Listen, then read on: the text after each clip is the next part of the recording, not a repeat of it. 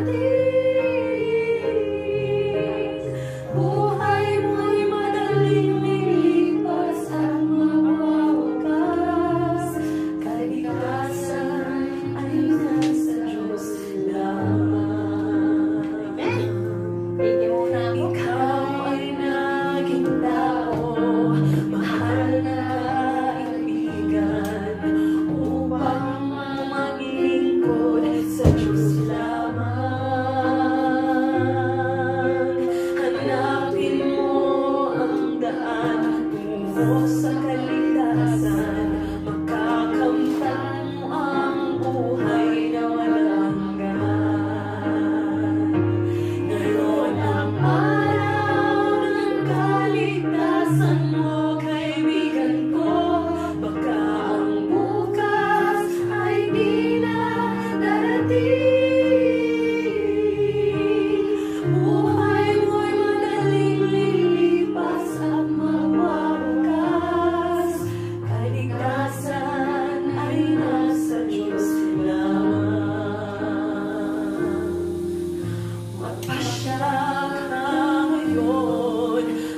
mama.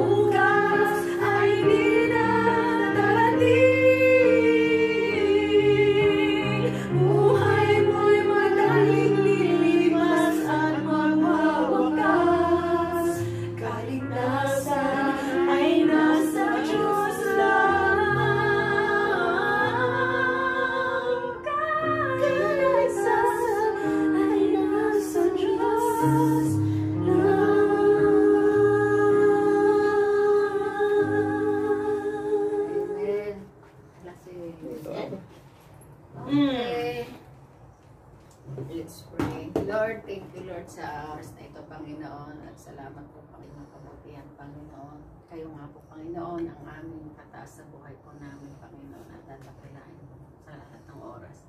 Lord, salamat po sa bawat isa po, Panginoon, na narito, Panginoon, upang kami po ay makapakinig ng mga salita, Panginoon, at may pamuhay nawa namin ang aming mapag-aaralin ngayon sa oras na ito.